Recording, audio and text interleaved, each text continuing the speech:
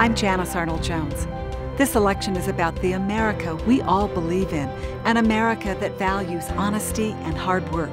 A place that celebrates entrepreneurs, innovators, and small businesses that create real jobs for real people, where we offer a hand up when times are tough and work together to build communities where anyone can succeed. I'm Janice Arnold Jones.